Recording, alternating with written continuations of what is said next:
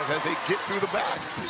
Here's Tyrese Hunter. He needs a quick start and finds Chendall Weaver. So Hunter was 0-4 from the field in the loss against Iowa State. But he also understands that defense gets him on the floor first and foremost. Disu blows by, gets the Edwards, and puts the exclamation on it. He's having a chance to have an impact on the defensive side. Everything else will work out as you continue on the tour. Disu another three. Red hot to start. He's got seven. Ball is not sticking. Dillon Mitchell. Oh, he did it! Matt Hobbs, as they would say, Chendall Weaver.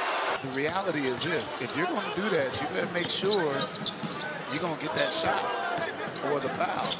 Disu trying to stay perfect. He is! Come on now, six for six. See, it used I to be think David and Sons when I played. Oh, really? Yeah. Okay. Yeah. Now, I think there's a company called Biggs. Bigs. The Taco mm-hmm. Bell.